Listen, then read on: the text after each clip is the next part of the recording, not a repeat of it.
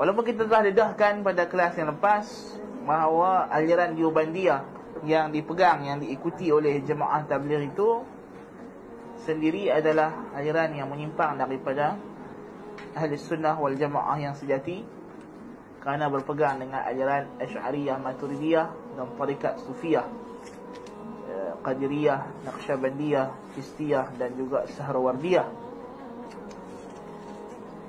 jadi kita dah sebutkan bahawa jemaah tabligh ini diasaskan oleh Maulana Ilyas yang berbaiat tarikat dengan Ahmad Rashid Kankuhi kemudiannya berbaiat pun dengan Khalil As-Saharanfuri yang mereka semua adalah ulama Jubandiyah dan telah kita sebutkan berbaiat pula dengan empat tarikat yang kita nyatakan tadi.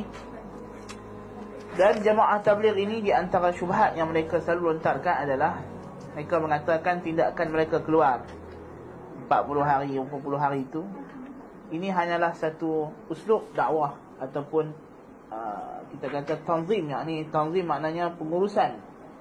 Idarah semata-mata tidak ada i'tiqad yang batil. Kita katakan hakikat ini berlawanan dengan apa yang dinyatakan oleh para ulama tabligh sendiri yang menganggap ajaran mereka itu adalah satu wahyu ataupun ilham dengan bahasa mereka kepada pemimpin mereka Muhammad Ilyas. Seperti yang tersebut dalam uh, perkataan Muhammad Ilyas sendiri dia kata Umirtu bil qiyami bi hadzal amri athna iqamati bil madinati al munawwarah wa qila li sawfa وتلقى تفسير وتلقى تفسير قوله قوله تعالى كنتم خير أمة أخرجت للناس وهو نائم وألقى في روعه إنكم مثل الأنبياء بعثتم للناس Kata Muhammad Ilyas, aku diperintahkan untuk menegakkan urusan ini ketika aku berada di Madinah. Dan dikatakan kepadaku, kami akan gunakan kamu dan bebankan kamu dengan satu amalan. Dan dia menerima tafsir firman Allah Ta'ala, Kuntum khaira ummatin ukhrijat innas. Ketika dia sedang tidur dan dicampakkan ke dalam jiwa jiwanya, perkataan, Innakum mislul anbiya. Kamu ini semua seperti Nabi. Bu'istum linnas. Kamu diutuskan kepada manusia. Fahal araf... Uh, Kata Al-Hajj Abdul Rahman Ini salah seorang ulama mereka. Ini dalam kitabnya Irsyadat wa Maktubat Al-Syekh Muhammad Ilyas. Inna Syekh Muhammad Ilyas Lam yatashajja' lilqiyami bihada al-amali Hatta amarahu Rasulullah Sallallahu alaihi wasallam Faqama bih. Ha, Dia kata sesungguhnya Syekh Muhammad Ilyas tidak berani menegakkan dakwah ini Sehinggalah Nabi sendiri yang menyuruhnya. Maka dia pun melakukannya So dakwaan yang dibawa oleh ulama-ulama tabligh ini oleh pengasasnya Syekh Muhammad Ilyas, oleh Al-Hajj Abdul Rahman ini dalam kitabnya Irsyadat wa Maktubat Syekh Muhammad Ilyas menunjukkan bahawa mereka berpegang bahawa ajaran tabligh ini bukanlah satu tanzim, satu pertubuhan macam Yayasan Taklim, macam Anida, macam Al-Khadim. Bukan. Bukan begitu. Tetapi dia adalah satu cult, satu organisasi yang mempunyai akidah dan doktrin yang tersendiri. Mereka menganggap bahawa mereka ini adalah kumpulan yang diasaskan oleh Rasulullah sallallahu alaihi wasallam sendiri. Nabi bagi satu perintah khas kepada Muhammad Ilyas untuk mewujudkan jemaah tabligh. So kalau orang tanya apakah ini berlawanan dengan Islam? Ya. Karena ini mendakwa mendapat wahyu mendakwa mendapat tafsir baru bagi ayat Quran yang tidak ada dasarnya. Assalamualaikum warahmatullahi taala wabarakatuh. Jadi video ini saya nak buat sedikit penjelasan tentang tuhmahan buhtanun azim terhadap pendiri pendiri Jemaah Tabligh Hazrat Maulana Ilyas rahimahullah taala wa namallahu barakatuhu yang mana mereka membuat fitnah mengatakan Maulana Ilyas telah mendapat wahyu untuk membuat kerja dakwah tabligh. Sebelum itu di awal video mereka menyebut bahawa uh, akidah Dioban itu adalah bukan akidah yang sebenar, akidah yang salah. Seolah-olah mereka mengatakan Maulana Ilyas adalah berakidah Diobandi yang berakidah Maturidiyah dan mereka mengatakan akidah ini adalah akidah yang salah dan bukan akidah Ahlussunnah wal Jamaah. Sedangkan hakikatnya adalah akidah bila disebut akidah Ahlussunnah wal Jamaah dimaksudkannya adalah akidah Asy'ariyah wal Maturidiyah. Ini seperti mana yang dijelaskan oleh uh, uh, apa itu Syekh Al-Hafiz Az-Zabidi dalam kitab Syarah Ihya At-Tihaf Sadatil Muttaqin dalam fasal sani beliau menyebut uh, iza utlika ahlu sunnah wa jamaah fal muradu bihim al-asy'ariyah wal maturidiyah jadi bagaimana mungkin uh, video ini mengatakan bahawa uh, apa itu akidah Maturidiyah adalah akidah yang bercanggah dengan Islam. Itu pertama. Yang keduanya, uh, dia mengatakan bahawa Maulana Ilyas telah mendapat wahyu uh, untuk melakukan kerja dakwah tabligh ini yang mana dalam kitab beliau baca itu uh, Maulana Ilyas seolah-olah telah mendapat wahyu daripada mimpi Allah Subhanahu Wa Taala lalu melakukan kerja tabligh jadi nak katanya kerja tabligh ini bukan satu organisation, NGO dan sebagainya, malah dia adalah satu tugas yang khusus ditugaskan oleh Allah Subhanahu Wa Taala pada Hazrat Maulana Ilyas.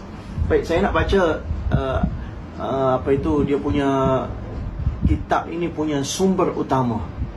Marjak utama kitab ini adalah daripada kitab Urdu, ianya daripada Malfuzat Maulana Ilyas rahimahullah taala.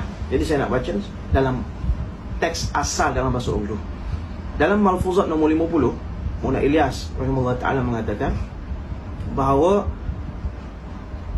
Bahawa Muna Ilyas telah mengatakan Bahawa Tablik tarikah Mujib Mujib per khobme mengkasyafah Metodologi tarikah Ataupun manhaj Tablir ini Aku telah Tersingkap eh, Di dalam Mimpi.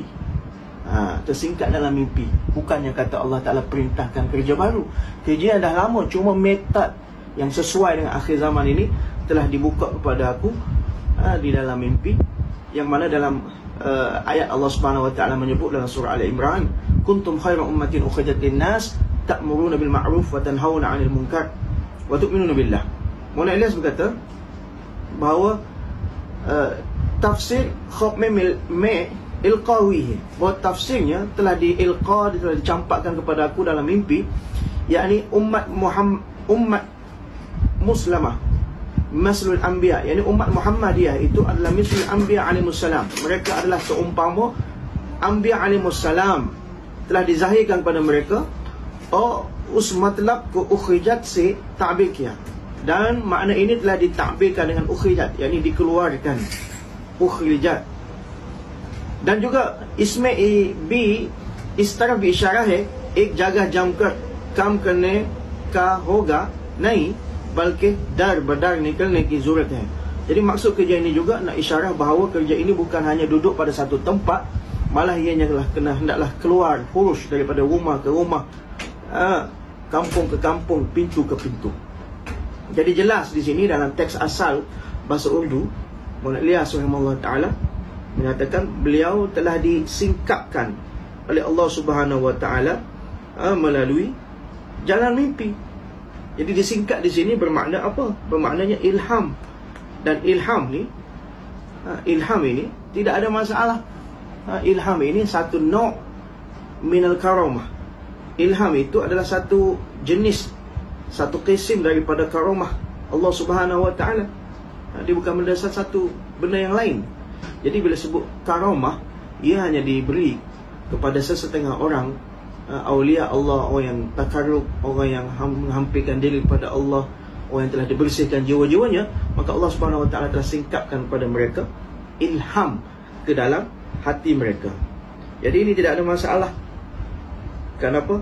Uh, ilham itu adalah nau'um minal karamah Seperti mana yang disebut oleh uh, Allamah Khattabi rahimahullah ta'ala uh, dalam kitab beliau Al-Ilamul Hadis jilid 3 muka surat 1571. Beliau menyebut fa in kana fi ummati minhum fa innahu Umar bin Khattab. Kalaulah sekiranya dalam umatku dalam umatku adalah di antaranya adalah Umar radhiyallahu anhu yang mendapat ilham tadi, yang mendapat ilham yang mana satu kisah daripada Qaramah tadi. Al-muhaddathu al-mulhamu, yakni yang telah diilhamkan uh, yulki syai' fi ru'ihi yang telah dicampakkan sesuatu di dalam ruhnya faka'annahu qad huditha seolah-olah beliau telah diberitahu melalui ilham. Yazunnu fayusibu. Ilham ni kadang-kadang dia bukan darjah yakin. Fayazunnu maka dia menyangka fayusibu. Kadang-kadang betul. Wa yakhthuru syai' bi balihi lalu uh, didetikkan sesuatu di dalam hatinya fayakunu kazalika. Maka apa yang terjadi? Itulah seperti mana yang telah terdetik dalam hatinya. Wa huwa manzilatu jalilatu min manazilil awliya wa martabatu wa martabatu azimah azimatun min maratibil asfiya. Dan dia adalah satu kedudukan yang hebat di dalam kedudukan-kedudukan awliya dan satu martabah yang besar daripada martabah asfiya orang yang membersihkan diri. Intaha. Itulah berakhirnya kalam Allamah Khattabi. Jadi ilham itu adalah satu bentuk karamah daripada Allah Subhanahu Wa Taala. Bukanlah satu benda yang asing. Malah ilham ini juga dipersetujui oleh uh, apa itu uh, Ibn Taymiyah sendiri dalam uh, Fatwa Kabir beliau menyebut bahawa bagaimana kita nak membezakan uh, yang satu itu ilham dan juga uh, ilham itu daripada Allah Subhanahu Wa Taala ataupun daripada syaitan. Maka beliau menyebut uh, wa yumayyizu Ibn Taymiyah bainal bainal ilham alladhi yulhimuhu Allah Taala li ibadil mu'minin wa bainal hawa. Uh, telah dibezakan telah membezakan Ibn Taymiyah daripada ilham ilham yang telah dicampakkan oleh Allah Subhanahu Wa Taala kepada hamba-Nya yang mukmin dan di antara ilham hawa nafsu yang wama yulqa syaitan yang dicampakkan oleh syaitan ala ghairil mu'minin di atas orang selain mukmin. Minal kafirin wal asad daripada golongan kafir dan orang yang orang-orang yang berbuat dosa. Wal mizan fi zalika maka neraca timbangan pada yang demikian itu. Kita nak beza itu adalah ilham daripada Allah ataupun syaitan. Wal kitab wa sunnah dia adalah kitab dan sunnah. Jadi kalau ilham itu sesuai mutabik dengan kitab dan sunnah Al-Quran dan sunnah maka ilham itu boleh dipakai. Tetapi sekiranya dia berkhilaf dengan kitab dan sunnah maka ketahuilah ianya daripada syaitan. Maka sekarang ini kita lihat apakah tafsir ayat kuntum khairu ummatin ukhrijat linnas ta'muruna bil ma'ruf wa tanhauna 'anil munkar.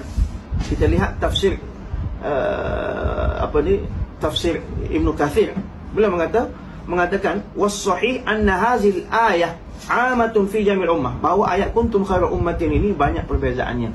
Ada mufassirin yang mengatakan dia kuntum itu makna antum yakni kamu semua sahabat orang Arab. Ada juga ulama yang mengatakan kuntum itu adalah seluruh umat.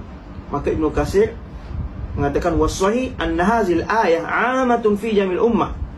Kullu qarnin bihasbi. Bahawa yang sahihnya bahawa ayat ini adalah umum bagi semua umat ha, daripada setiap kurun dengan kiraannya itu sendiri. Wa khairu quruni min ladina ba'atha fihim. Dan kurun yang terbaik adalah kurun yang diutuskan pada mereka Rasulullah sallallahu alaihi wasallam. Summa yazid summa allazina yalunhum summa allazina yalunhum dan kurun selepas itu dan kurun selepas itu. Kata lagi uh, kata lagi uh, apa itu? Ibnu Katsir jadi umat ini kuntum khairu ummatin. Adalah umat ini adalah umat yang terbaik. Bukan hanya khusus pada sahabat ha, tapi secara umumnya adalah umat ini adalah umat yang terbaik. Kan kenapa umat terbaik? Ukhrijat linnas kenapa umat ini dihantar untuk sekalian manusia? Ha, jadi kata Ibn Qasir innahum khairul umam wa anfa'u linnas wa anfa'u nas linnas mereka adalah sebaik-baik umat dan mereka paling banyak bagi manfaat kepada umat uh, linnas kepada sekalian umat. Apa kebaikan yang mereka buat itu? Walihaza qala maka dengan sebab itulah berkata Allah taala ta'muruna bil ma'ruf wa tanhauna 'anil munkar wa tu'minu wa tu'minuna billah. Mereka uh, membuat kerja menyuruh kepada kebaikan dan melarang daripada kemungkaran. Dan mereka beriman kepada Allah Subhanahu wa taala. Jadi bila dilihat uh, daripada penjelasan Ibnu Kathir ini maka apa yang telah uh, didatangkan ilham ke dalam hati Maulana Ilyas untuk membuat Uh, kerja dakwah dengan metod uh, manhaj. Kenapa Maulana Ilyas bukannya mendapat wahyu yang baru daripada Allah Subhanahu Wa Taala. Beliau tidak mendakwa beliau mendapat satu benda yang baru al-ma'lum fi din bidarurah, malah hanya metodologi, hanyalah manhaj dan itu tidak berkhilaf dengan wakil pun seperti mana dalam kitab Iktiraz terhadap jemaah tabligh kritikan terhadap jemaah tabligh yang dijawab oleh Maulana Yusuf Ludihanwi berkenaan dengan perkara ini. Uh, dari perkara ini memang alul hadis apa yang disebut sebagai orang muqallidin telah menyatakan uh, kritikan mereka. Maka sebagai menjawabnya uh, kritikan mereka berbunyi uh, Sa'il Nelika uh, penanya telah bertanya Hazrat kami nak tanya Kia Hadraji yakni Maulana Ilyas Kaya dakwah sahih adakah dakwah Maulana Ilyas tentang kuntum khairu ummatin kamu seumpama anbiya yang dizahirkan untuk manusia adakah itu memang uh, dakwaan Maulana Ilyas? Maka jawab Maulana Yusuf Rudianwi salah seorang ustaz, ustazul hadis dalam Jamiah Binori Town Karachi. Dia kata anbiya ki misal si murad masalul anbiya kamu seumpama anbiya muradnya di situ justru akabir perdakwah din ke zimadariti seperti mana akabir para nabi-nabi mereka telah bagi diberi tanggungjawab oleh Allah Taala untuk membuat usaha agama mengajak manusia pada Allah melarang daripada keburukan ha. tetapi disebabkan Nabi sallallahu alaihi wasallam ha, adalah nabi akhir zaman maka menyebabkan disebabkan itu tanggungjawab itu telah dikembalikan kepada umat marhumah umat yang ha, dirahmati Allah Subhanahu wa taala. Maka Maulana kata lagi ismi konsibat khilaf waqi' maka di sana mana perkara yang berkhilaf dengan waqi' Ha, Ispekia iskahala Apa perlu dikritik tentang perkara ini? Kata Muhammad Ilyas tadi Kamu seperti mana ambiya Bermaksud di situ bukan kamu. Kamu juga ambiya Kamu misul ambiya Kamu seumpama ambiya ha, Bukan kamu ambiya Ya ini seperti mana ambiya Membuat kerja dakwah Mengajak manusia kepada Allah. Jadi disebabkan Nabi SAW Nabi akhir zaman Maka uh, kerja ini telah dipertanggungjawabkan kepada umat. Maka tafsiran ilham yang dicampak Allah Subhanahu Wa Taala kepada Maulana Ilyas bukan satu perkara yang baru, bukan satu bentuk uh, apa itu agama syariat yang baru, malah itulah satu manhaj yang dilorongkan, diilhamkan Allah Subhanahu Wa Taala untuk beliau buat uh, untuk uh, apa itu uh, beliau melakukan kerja dakwah pada akhir zaman ini khususnya. Wallahu taala alam wa ilmu itu